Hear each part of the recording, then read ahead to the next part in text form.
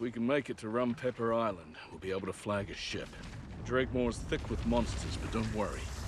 There's one of them things within a mile of us. I'll sense it. Maybe a little off my game here.